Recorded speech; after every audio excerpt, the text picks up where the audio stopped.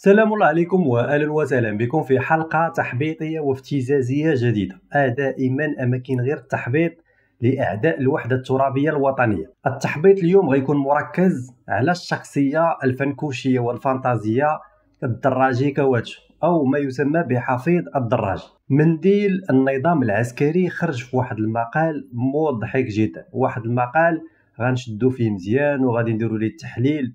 البسيكولوجي والنفسي وحتى الكوميدي. مقال بغى به الدراجي كواتشو أنه يلعب دور المدافع على الدولة الجزائرية أو على النظام الجزائري ولكنه بكل غباء كيأكد على أن الجزائر دولة ضعيفة جدا ودولة فاشلة خاصة منين تكلم على الموضوع ديال اتحاد العاصمة. مع نهضة بركان وأكد على أن الجزائر فشلت في إدارة الملف ديال الفضيحة ديال الخريطة الوهمية خاصة فاش تكلم على القضية ديال الخريطة اللي سموها بين قوسين وهمية وهي الخريطة الكاملة أو شبه الكاملة للمغرب لأنه مازال عندنا الصحراء الشرقية المغربية. وأكد بلا ما يشعر في المقال ديالو على أنه تتهم الدولة الجزائرية بالفشل ديالها في إدارة هذا الملف. ما تخافوش خوتي العزاز ما غاديش نقرأ عليكم المقال كامل لأنه مقال طويل بزاف وفيه بزاف ديال لغة الخشب. غنقرأ عليكم الأجزاء اللي تارت الانتباه ديالي. واللي ضروري نتوقفوا عنده هو الدراجي كواتشو مسالي قبو حنا مسالين قبنا كثار منه واللي تيقولوا لنا علاش كتجاوبوا الدراجي كواتشو الدراجي كواتشو كنذكركم على أنه شخصية إعلامية مشهورة في العرب وأيضا عنده حسابات مليونية. فأقل حاجة إلى قناة متواضعة مغربية بحال القناه ديالنا كترد عليه فهذا أمر عادي جدا. بالعكس ما خصناش نخليوه في الساحة الإعلامية بوحدو خصنا ضروري نفضحوه ضروري نزاحموه وضروري نهاجمو كيف ما تيقولوا. في ظل غياب النخب الرياضية ديالنا وبطبيعة الحال المغاربة كيساندوا دائما البراني وكتلقاهم بكثرة عند الدراجي كواتشو في الحساب ديالو ومثلا ما كيساندوش النخب الرياضية ديالنا. فحنا ما كرهناش شي مغربي حتى هو في العالم الرياضي يكون عنده حسابات مليونيه وهو اللي يكون قاد بهاد الدراجي كواتشو باش حنا نركزوا غير مع النظام العسكري في الجزائر. أول حاجة ضحكاتني في المقال هي المقدمة. غنقرأ عليكم واحد الجزء صغير باش تعرفوا علاش مقدمة مضحكة. شوفوا الدراجي كواتشو كيفاش كيلمع الحذاء ديال النظام الجزائري وكيشوه الحقائق. قال لك الجزائر تخوض حروبا ضد الفقر وتسعى لرفاهية الشعب الجزائري. تسعى إلى توفير أسباب النمو والتطور. تحرص على تكريس استقلاليتها وسيادتها. راه دائما كيتكلم على بلاد الجزائر. دائما مضروبين على الكلمة ديال السيادة. السيادة وكيعاودوها والتكرار ثم التكرار ثم التكرار لأن السيادة ما عندهمش على أرض الواقع. قال لك الجزائر تخوض حروبا ضد الجهل والفقر والتخلف وكل الآفات الاجتماعية التي تعيش فيها دول الجوار. يعني دابا راه هو بحال كيتكلم على سويسرا ديال أوروبا. بحال كيقارن راسو هو سويسرا وحنايا عندنا التخلف والجهل والمجاعة والفقر وعندنا الطوابير وعندنا ندرة المواد في كل المستويات. ثم ختم المقدمة ديالو بأن الجزائر تواجه تحديات أخرى. يعني هادشي كامل بوحدو وراه كاين واحد الحروب أخرى تواجه الجزائر.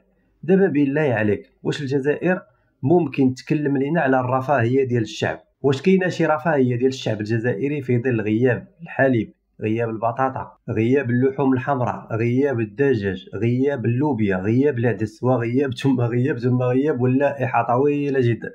تا اين رفاهية نتوما راه عايشين غير في المواقع أما على أرض الواقع راكم عايشين البؤس والغبن. نتوما في النشرة ديال الثامنه كتأكدوا نفس الأمر كتأكدوا على انه الرئيس عبد المجيد كدبون يحاول رفع الغبن على مناطق الذل. المهم إلا شي واحد عربي بعيد على هادشي ديال الجزائر وما عارفهم شنو كيسواو وشنو كيديروا وما عارفش الحياة المقموعة اللي كيعيشوها والفقر والمجاعة اللي كيعيشوه غادي تصحابوا بأنه الجزائر راه دولة غنية بحالها بحال قطر وبحال الإمارات وبحال السعودية. وقال واحد النقطة مفيدة جدا وهي في نفس الوقت غير مفيدة. قال لك هادشي كامل اللي واقع الجزائر من الحروب الصامتة ضد الجزائر كدولة وكرئيس وكنظام قال لك بسبب عدم تغيير المواقف ديالهم والمبادئ ديالهم وبسبب المواقف ديالهم الثابتة في دعم القضايا العادلة في العالم. أنا القضية الوحيدة اللي كنشوفكم كتدعموها هي القضية الوهمية ديال بوليزاري حتى أنه في عز الكارثة اللي كتوقع في الشرق الأوسط في غزة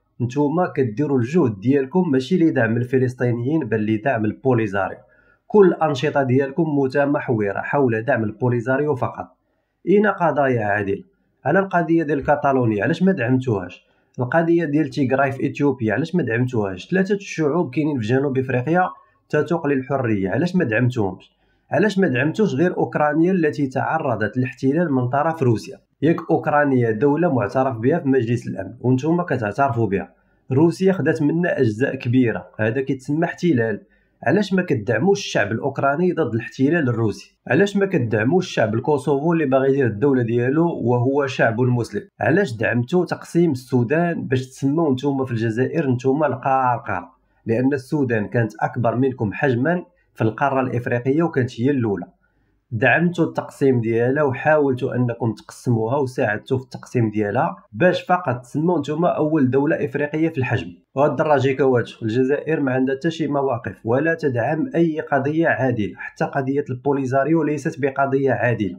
لأنه في الإسلام ديالنا وفي الدين ديالنا الحنيف تيقول لك انشقاق فئة مسلمة على حاكم مسلم وعلى شعب مسلم هذا غير جائز. وهذا الشيء داخل في الفتنة اللي كديروا نتوما يعني القضية ديالكم ليست عادلة. يعني القضية ديالكم المحورية اللي كتعيشوا عليها نهار وليل ليست عادلة. من بعد دخل في الصحيح. هو بالنسبة ليه راه كيحاول يلمع الصورة ديال الجزائر وكيحاول يساعد الجزائر. وبطبيعة الحال خرجوا النظام العسكري باش يقول هاد جوج كلمات. راه صعيب. راه صعيب بزاف أن تكون المهنة ديالك هو تلميع نظام عسكري في الجزائر. راه مستحيل تلمع صورة ديال شي حاجة ولات واضحة وباينة خاصة مع هادشي ديال مواقع التواصل الاجتماعي اللي ميمكنش تكذب فيه. قال لهم الدراجي كواتشو قال لهم ما تعرض له نادي اتحاد العاصمة كان يحتاج للاستعانة إلى كفاءات رياضية ونخب رياضية وقال لهم أيضا خاصنا نستعنوا بالنخب القانونية المتواجدة داخل الجزائر وخارج الجزائر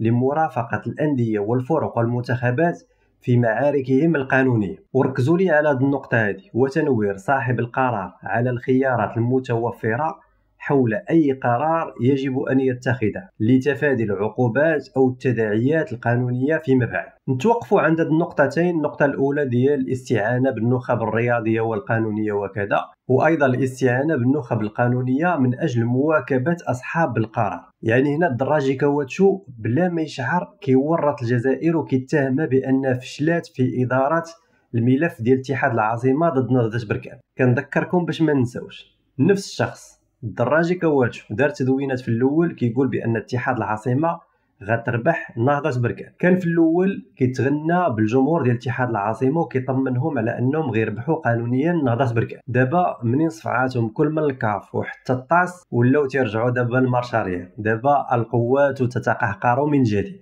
دابا ولات لا كان عليهم يستعنوا بالنخب الرياضية والقانونية باش يتشاوروا معاهم واش ياخذوا القرار ويشوفوا التداعيات ديالو والعواقب ديالو. يعني بطريقة غير مباشرة الدراجي كواتشو ينعت الجزائر بالفشل ينعت الاتحاد الجزائري بالاتحاد الفاشل ينعت وليد صادي بالفاشل ينعت الدولة الجزائرية والمخابرات والجمارك وأعلى سلطة في البلاد فخامة الرئيس عبد المجيد كذبوا اللي كيضرب بالحجر كينعتهم بالفشله لأنهم ما استعنوش بالنخب الرياضية والقانونية باش يقولوا لهم واش القرار صائب ولا ماشي صائب. أنا نتحداك الدراجي كواتش نعطيوك هذا الملف ديال نهضة بركان مع اتحاد العاصمة والدولة ديالك كتفرض عليك أنه القميص ما يدخلش وما يلعبوش به وقول لي أنت كيفاش غدير إدارة هذا الملف وبين لينا أنت النجاح ديالك. واخا تجيب أحسن رياضي مولم بالقوانين الرياضية وتجيب أحسن محامي في العالم ما يسلككمش في هذه القضية هذه المهم بعدا مزيان أنكم بديتوا كتستوعبوا أنكم خسرتوا القضية قانونيا ورياضيا والماتش ما يتعاودش يجدك. نقطة ثانية خطيرة كيقولها في المقال بلا ما يشعر. قال لهم يجب علينا الاستثمار في كل العلاقات الشخصية والرسمية في اتحاد الكاف واستعمال كل الإمكانيات الجزائرية المالية لتوطيد العلاقات مع كل الفاعلين في الحقل الرياضي داخل الكاف يعني هنا بصريح العبارة كيف ما دار هذاك بن الشيخة؟ بن الشيخة كان يدعو لرشوة الحكام ولرشوة الناس العاملين في الكاف باش ياخذوا قرارات لصالح الجزائر ضد المغرب. دابا حتى الدراجي كواتشو خرج لها طاي طاي. حتى هو قال لهم صريح العبارة خاص الإمكانيات المالية تستعمل للضغط على الناس في الكاف باش يكونوا من الجهة ديالنا ماشي من الجهة ديال المغرب. مع العلم على أن المغرب لا يستعمل أي إمكانيات مالية وهنا ملي كنقولوا الإمكانيات المالية راه الدراجي كواتشو كيتكلم على الرشوة. يعني هما يدعون للفساد والرشوة ومن الفوق كيجيو يتهموا فوزي القجاع بداكشي اللي فيهم. وبان ليا الدراجي كواتشو هذا المقال فاش كنتي كتكتبو كنتي واقيلا ضارب شي كويسات يمكن حيت بنت ليا خرجتي بزاف على السطر وهذا المقال هذا راه ما غاديش يدوز مرور الكرام. وبان ليا اليوم باللي الكابرا المسؤول عليك غادي يعيط لك في التليفون منين غيشوف الفيديو ديالنا. المشكلة الدراجي كواتشو بدا بديك المقدمة الفانتازية والرفاهية وداكشي اللي ما كاينش في الجزائر كاين في سويسرا. من بعد ورط الجزائر وادعى بانهم فشل. وبدا كيدعو إلى رشوة المسؤولين في الكعف وهذه راه دعوة إلى الرشوة والفساد المالي مباشرة. من بعد ما توقفش هنا وما سالاش المقال ديالو هنا. كون سأل المقال ديالو هنا نقولوا نكتفي بهذا القصف ونمشيو لحلقة واحدة أخرى. ولكن هو ما حبش هنا وقال لنا زيدوا قصفوني قال لك خاصنا نستعنوا بالنخب الثقافية كذلك باش نواجهوا السرقة الممنهجة لكل التراث الجزائري والموسيقى والأكل وبزاف ديال الأمور اللي ما كايناش في الجزائر. كاع داكشي اللي كيسرقوه هما من المغرب قال لك خاصنا حنا نحميو من السرقة من المغاربة. راه المغاربة ما يمكنش يسرقوا القفطان اللي هو ديالو. راه المغاربة ما يمكنش يسرقوا الكسكس اللي هو ديالو. راه المغاربة ما يمكنش يسرقوا الأغاني المغربية ديال التراث المغربي اللي هي ديالو. علاش قلت لكم الكسكس والقفطان حيت ذكرهم في المقال قال لك يجب حماية الكسكس الجزائري والقفطان الجزائري. وقال الكراكو وقال البورنوس وقال بزاف ديال الأمثلة. وصدق أو لا تصدق قال لك حتى يجب حماية الطاجين والحريرة الجزائرية. ودابا فهمت الطا اقصح وجه على وجه البسيطة هو الوجه الجزائري.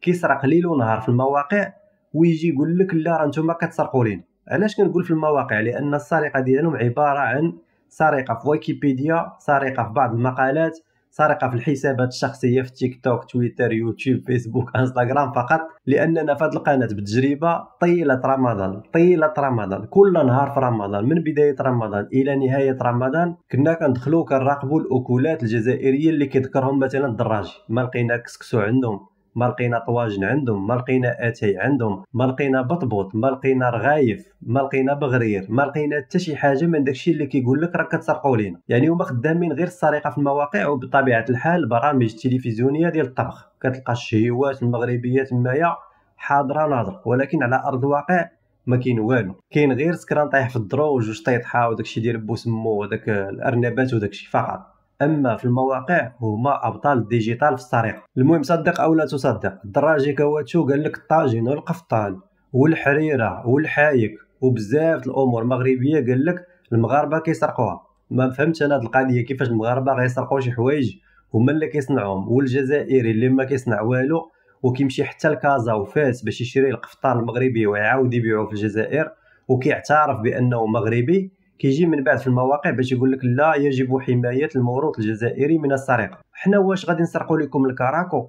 الكراكو أنا كنتحدى شي واحد في العالم يلبسو ما يحشمش. أصلا المغربيات مستحيل يلبسوا الكراكو المفضوح ديالكم اللي هو أصلا عثماني ألباني ماشي جزائري. كنا كنعرفوا هذيك ضربني وبكى سبقني وشكا. هذه هي سرقني وبكى سبقني وشكا. وتيسرقوا ومن الفوق تيتشكاو من السرقة قال لك. وقبل ما يختم المقال قال لهم يجب أن نتحول من الدفاع إلى الهجوم. دابا هو الدراجي كواتشو وحتى بزاف الجزائريين كيعتقدوا على أنهم ضحايا للهجوم المغربي. دابا هما هادشي كامل اللي كيديروا لينا من 1975 والمغاربة ساكتين اليوم المغاربة تيديروا بالملحة والطعام اللي كانوا مشاركين معاهم وبزاف الأمور. تيقولوا ربي يهديهم. وكانوا المغاربة تيديروا واحد الخطأ جسيم على أنهم تيفرقوا بين النظام والشعب. وكان تيقولوا المستقبل غادي يبدل الأمور والشعب غادي ينقلب على النظام وغيرجع الوعي ديالو غادي يعرف التاريخ ديالو الحقيقي وغادي يصلح بزاف ديال الأمور. من 1975 الاعلام الجزائري كيهاجمنا. الدولة الجزائرية كتهاجمنا عسكريا وسياسيا واعلاميا وثقافيا اقتصاديا ورياضيا. الشعب الجزائري كيساند الدولة ديالو ما كيتشكاش ما كيقول لهمش هادشي اللي كديروا راه عيب. وكيجي واحد في 2024 عنده حسابات مليونية اللي سميتو الدراجي كواتشو تيقول لك خاصنا نبدلوا الوضعية ديال الدفاع إلى الهجوم. إلى هادشي كامل اللي كديروا نتوما من 1975 ما كتسميوش هجوم. شنو غادي تسميو؟ هاد الساعة راه المغاربة اللي خاصو يبدلوا الوضعية ديال الدفاع إلى الهجوم لأن لحد الساعة مازال المغاربة والأغلبية ديال المغاربة مازال كيحشموا من الجزائريين ومن بعض المغاربة اللي كيمارسوا عليهم ضغوط. المغاربة اللي كيجيو كيقول لك ما تبقاوش تردوا عليهم ما تبقاوش ديروا خليهم يعايرونا ما نزلوش المستوى. أصلا ما كاينش شي مغربي بعدا أغلبية المغاربة ما كاينش شي مغربي كيسبهم ولا كيعايرهم منين كتقول لشي واحد صانع المحتوى ما تنزلش للمستوى ديال الجزائريين راك انت كدير واحد الخطأ كبير. لأنك كتقارن المستوى ديال القناة ديالنا مثلا بالمستوى ديال الجزائريين اللي فيه غير السب والشتم والضرب في أعراض النساء وشرف النساء. فمنين كتقول لينا نتايا ما تنزلوش للمستوى الجزائريين يعني كتعتبر بأن المحتوى اللي كنقدمه هو محتوى يشبه المحتوى الجزائري اللي هو أصلا زائد 18 وزائد 25 الفوق غتكون عندك 25 سنة وتحشم تفرج في المحتوى الجزائري. فما تبقاش تقول للمغاربة لا ما تنزلوش للمستوى ديالو.